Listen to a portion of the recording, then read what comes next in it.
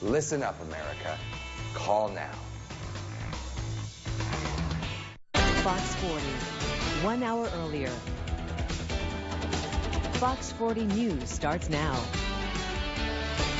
Now at 9.30, local law enforcement gearing up for big crowds of shoppers over the next few weeks. Tomorrow, Operation Safe Shop start for the Jackson Police Department.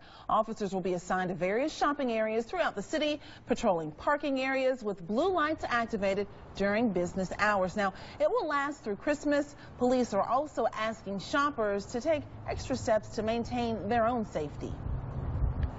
If you leave your merchandise in a, in a place where a thief has an opportunity to take advantage of that situation.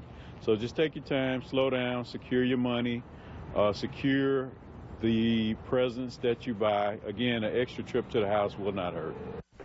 Police in Flowood also plan to increase their presence at Dogwood Mall, Dogwood Festival Mall. They have also secured a mobile operations center from Rankin County, which they have put in the parking lot. And over the next few weeks, officers working that special operation will be dispatched out of there, where they can also monitor the area through surveillance video.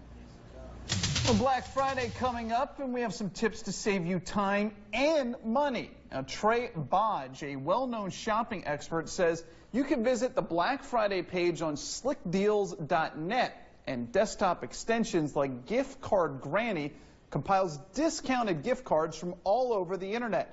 Cashback site Splender.com also has a great desktop extension.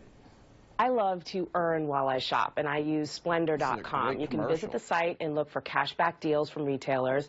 Around now, they will be more generous than usual because the retailers really want you to shop with them.